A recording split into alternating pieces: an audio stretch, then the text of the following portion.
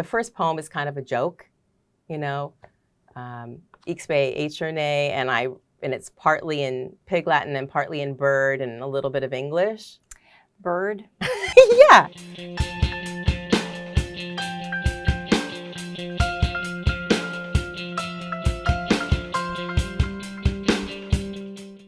Welcome, Amy Shimshon Santo, uh, to Poetry LA.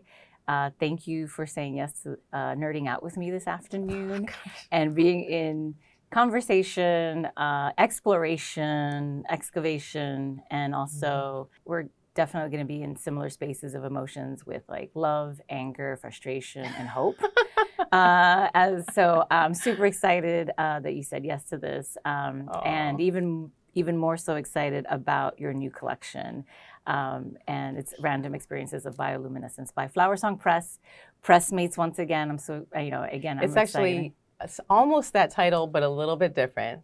okay. It's random experiments, and you said experiences. Oh, okay. And That's, I didn't it's very realize- similar, but I love that you're saying that because it is random experiences. It is. Eh, but they're ex- also experiments in trying to live in a time of such great shadow, great suffering, Mm, great yeah. disorientation, and somehow have the experience of finding your own light. So your accidental word was actually to the soul of the book. Let's talk about the cover, you know, really quickly because it is absolutely gorgeous. The wonderful image on the cover is by a friend of mine named Pao Chutijita Wong. I met her in the mountains, in the Blue Ridge Mountains, an, in an artist residency Oh, space cool. in Hambidge Center. And she was doing these tiny little uh, cyanotypes of Mm. insects.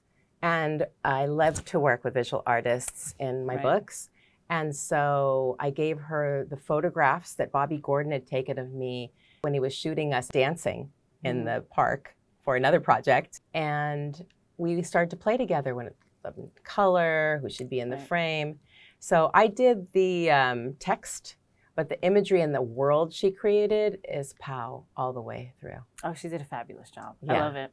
Before we get into the book, I want you know to to ask you a couple questions, just to also introduce our audience to to who you are, uh, and I want to talk about your relationship with writing. Mm. Has it been a contentious relationship? Has it been a nurt- you know uh, nourishing one? Right. How would you describe it?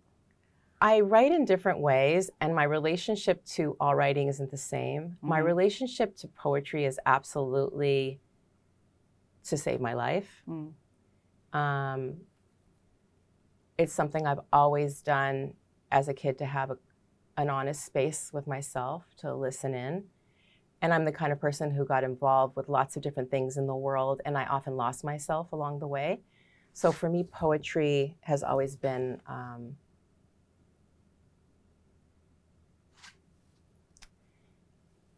a guiding light. Is that terrible? It's a it's a lighthouse in my life.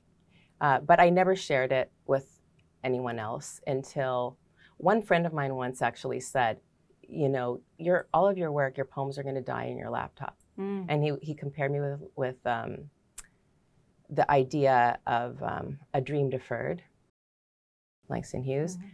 and uh, and I thought, well, that kind of sucks. But how does a single mother raising kids doing community work ever have a time to really sit down and make your poems into something that could be shared professionally in publishing?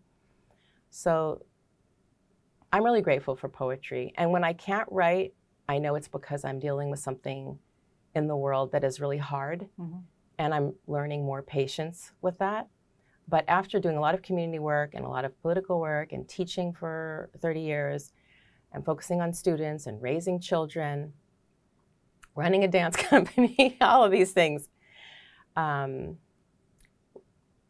writing and poetry for me is a way to immediately say what needs to be said Mm. and feel what needs to be felt without approval from a board of directors, a political official, a president, a governor, Right. or anyone who has power over so many others. It's a way for me to feel in my own authenticity and my own power and to connect with people in their truth. Are there any artists or any poets uh, that you revisit? Well, I have a lot. I, I do have a lot of, we all do. Yeah. Uh, I remember once hearing someone say that he had relationships with all of these dead people in a library. And so I'm one of those too. I'm sure you are Yeah, as well. yeah. But I have to say that the first poet I ever heard that made me think, that's a woman. I can be a woman, was absolutely Maya Angelou. And I heard her read at a party in San Francisco when I was a kid because we have mutual friends of my parents. I was there as a kid with my with my mom and dad, and she had just published in Still I Rise. And so Wow. she pulls out her copy in her canvas pants and her head wrap and her whatever, and she read to us Phenomenal Woman. She sang it. When I heard her read, I was like, it's a good thing to be a woman. I can be a woman too. And so she was that first experience of that. That's one hell of an experience. Right? First experience. like if that if you're gonna get anyone to open that door for you, it's her and also to to see her not you know, to hear her read and then to sing and it to be live and then and then if she had just published Still I Rise, I mean, talk about like a blueprint or or Yeah. someone setting the foundation. That's Right. phenomenal. I mean, she definitely set an example of poetry is about being with all that your ancestors Mhm. brought forward in you, seeding something for the future, but also just being the author of your own life. hmm Right. Yeah. I, we have to talk about the new collection. Um, and a couple of questions. One, what was the impetus of this? Because catastrophic molting didn't come out too long ago. This is because I remember being at your book launching. This Right. was so. This is you know, catastrophic molting came out what two years ago, maybe a year and a half ago. I Yeah. remember it very vividly. And then this new collection and um, I'm not going to say that one is better than the other because I don't believe in that, and I think they're just very different. I They're think there different. is no poetic hierarchy here. Right. Uh, you know, with your poetry, they're just very like laterally very different Yes. uh, projects, different collections, yeah. um, and so you know, comparing it to catastrophic molting, what was the impetus of this one? Like, what brought you to this one? Because this is such a polylingual Yeah. book uh, or text, and and my secondary question would be, how many languages are in are represented in this new collection? But first, what was the impetus of this one? Well, I'll just say before I forget, there are 11 languages. Okay, that's They're not all me, they're also Right. my friends. right. These two books, actually, for a while, I wasn't sure what to do. There was catastrophic molting plus a little bit more, where I thought, how do I live in such a violent world? Where do I ground myself? Mhm. I guess I'm going to ground myself with nature, right? And then I thought for a while, and and uh, publisher and I talked about this a lot. Should this be a longer book, or should this be two books? And I fretted over that a little bit, and then I decided, let it be two books, and that was absolutely the right move because there were more poems that wanted to come, and they were related to the nature poems. Mm. And so it starts off with a sense of let me ground myself in habitat, let me ground myself in the natural world. Um, it's, it's in relation to catastrophic molting because I had given up in a way on our species a little bit, to be honest.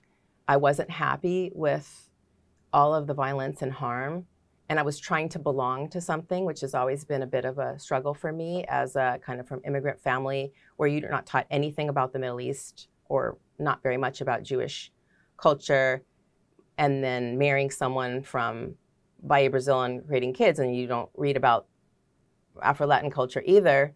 So a lot of empty spaces. So the languages, first of all, came because it's just the reality of me.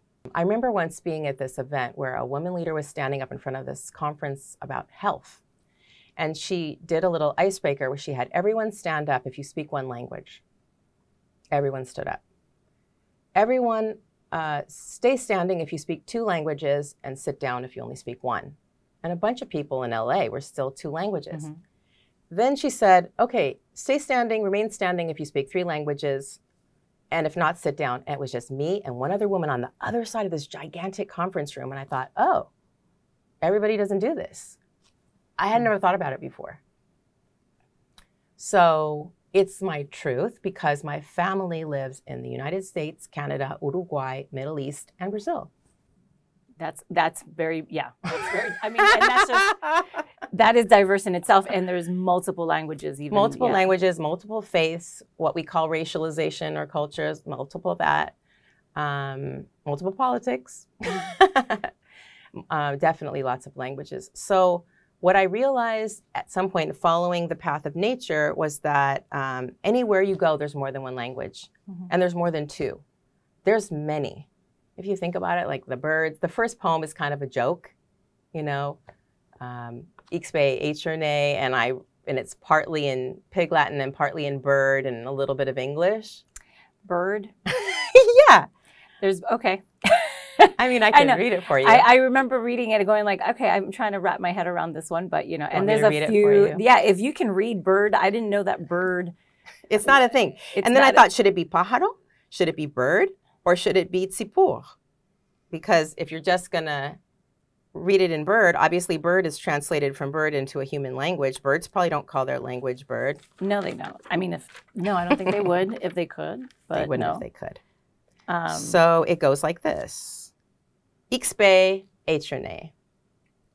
I still listened to the ten tinsects and shed birds there. Rrr, rrr, cheep, brrr, wheel. how much fun did you have writing that? Hella. Lots of fun. How much fun did you? have? Yeah. It was actually okay. So what started to happen? There's was, a lot of onom- onomatopoeia. I'm gonna get nerdy and be like, there's onomatopoeia. Thank there's you, Teach. yeah, uh, there's onomatopoeia that Yeah. you know. Go ahead. Sorry. No, no. Please speak. I love what you have to say.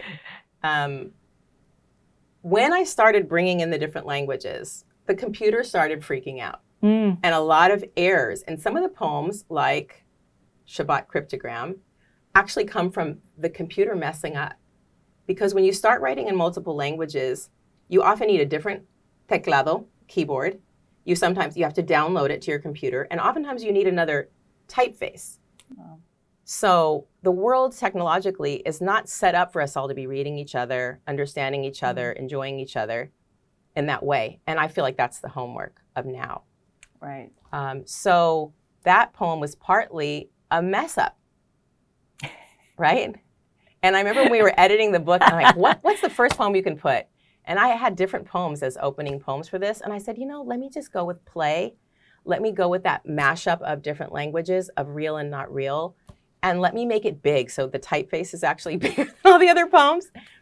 Um, yeah, because that's what that's actually, it's a playful, serious book with lots of languages, and it's trying to hear the natural world, just it's multilingual, plurilingual, and multi species. choosing the first poem of a collection is a thing.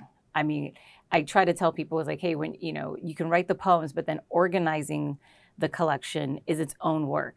So deciding what that first poem is going to be is quite quite important because it is going to be the first thing that people read. It is what other than the cover, it is probably when people are over there at a bookstore, they'll go to the first poem, you know, and and read it really quickly and be like, okay, can am I going to invest Yep. in buying this book, right? It, does it does it grab my attention? It's almost like the trailer to a movie.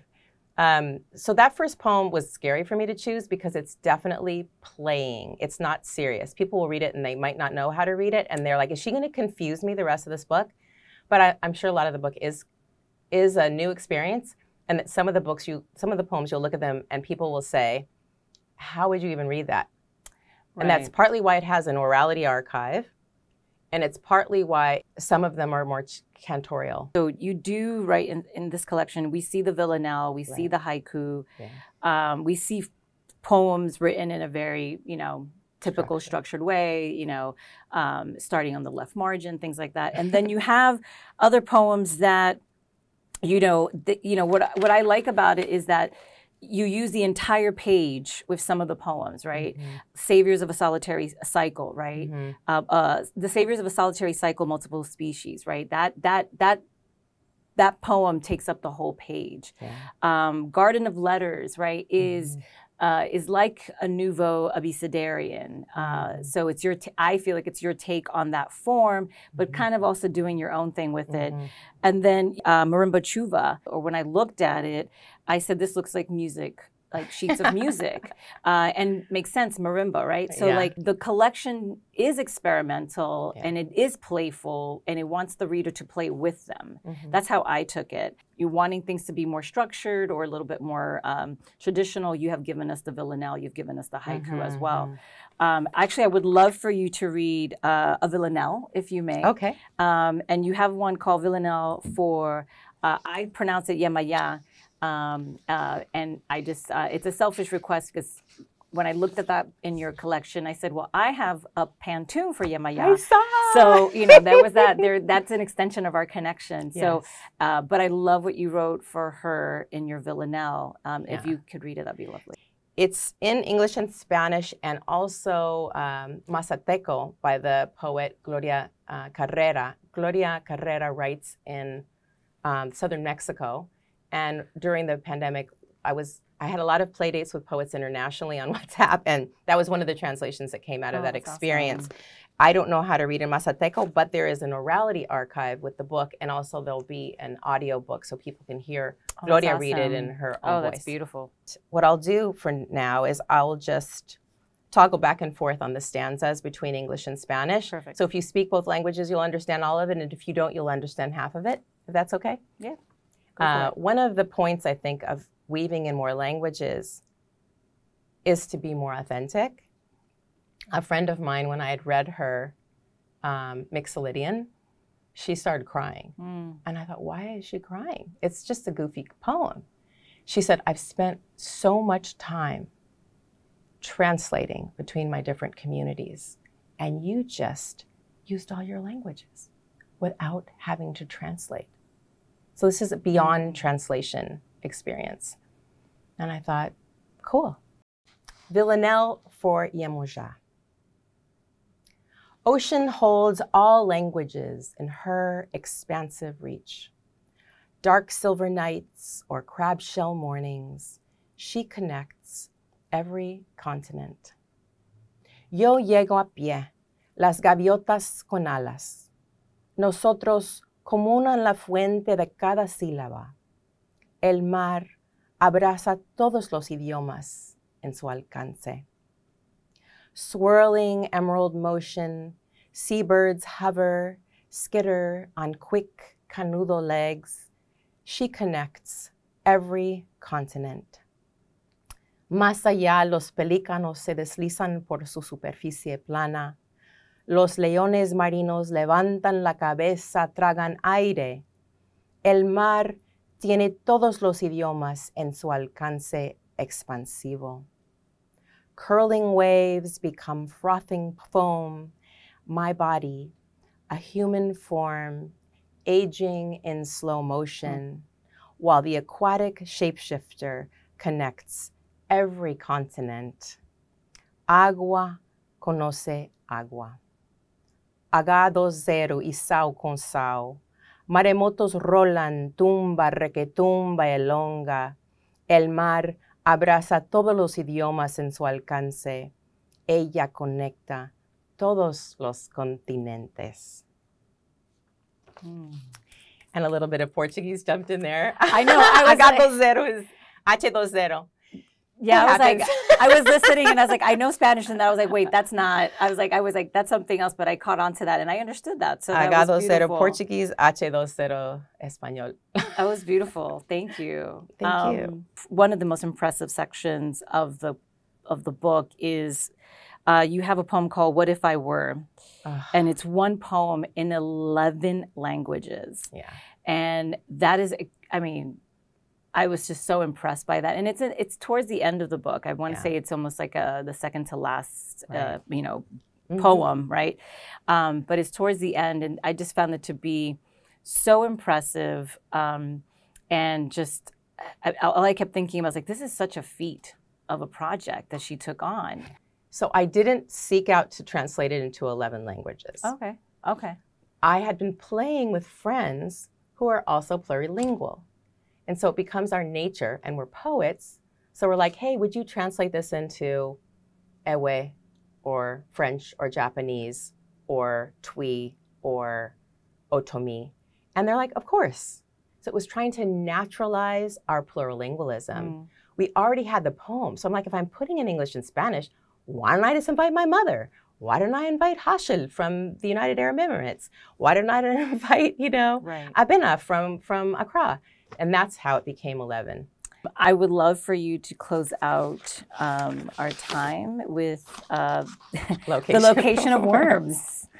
So this poem, uh, this is the scratch pad poem version, but it was inspired by the Akdamut. The structure is many, many thousands of years old. On the left-hand column was the first and last letter of the alphabet. It would be as if you were to say in the left-hand column, AZ, AZ, AZ, AZ. Then in the middle, there were prayers. And what I did is I messed with it. I played with it. So in my poem, it has Aleph Tav, Aleph Tav, Aleph Tav, Aleph Tav on what side, which is equivalent in the Hebrew letters of AZ, AZ, AZ, AZ. And then it has the Aleph Beit on the other side, which um, I'm still relearn. I'm still learning. That's how much of a beginner's mind I've had to have with this work, even though it's the right work. So the location of worms is obviously all of us on planet Earth, but the person who wrote the Akdamut, many painted the painting of the Akdamut, um, which is an image that's associated with the harvest Mm. in spring. Um, uh, I hope he doesn't mind. So when I first showed this poem to friends, they said, "How would you read it?" And that's been part of the, the challenge of this this collection is, okay, so you're following an ancient form in a different language, and people don't all read it. So how are you actually going to speak it? And it goes something like this: The location of worms after the Akdamut. Ta ta ta ta ta ta ta ta Aleph Beit Gimel Dalid Hey Vav Zain Chet Tet Yud Ta Ta Ta Ta Ta Ta Ta Ta Kaf Kaf Lamed Mem Mem Sofit Nun Nun Sofit Samech Ein Pe Pe Sofit Fe Fe Sadik Kuf Kuf Kuf Ta Ta Ta Ta Ta Resh Shin Tav Ta Ta Ta praise unceasingly, ta, ta, ta, ta, almost unintelligible oneness, ta, ta, ta.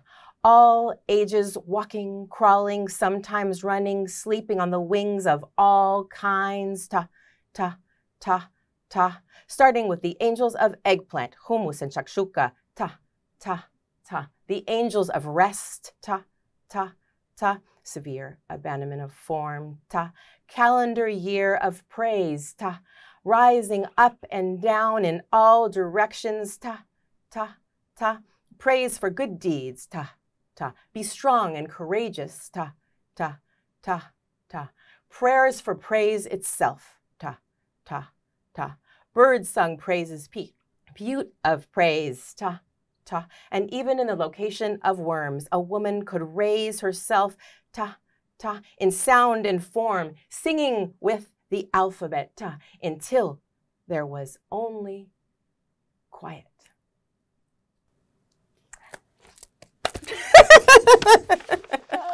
that was awesome. Yeah, I couldn't read it that way.